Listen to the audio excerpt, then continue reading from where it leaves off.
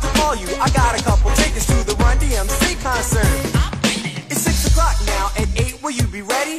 Alright, fine. See you then, Betty. I combed my hair, washed and brushed my teeth. Got funky, fresh dressed, Molly Cox for teeth. Got the Betty's at eight. I was ready to jet until Betty's mom said, Betty's not ready yet. I sat there for at least an hour. It was ten after nine before she got in the shower. 9:35. She comes downstairs and said, I need a little longer to finish my hair. At 10 o'clock, downstairs and says, Let's go. Go where? Go to sleep, I'm gone. I was steaming like a demon as I drove home, but it just goes to show. Not trying to bust your bubble, but girls of the world ain't nothing but trouble. So next time a girl gives you the play, just remember my rhyme. Just remember my rhyme.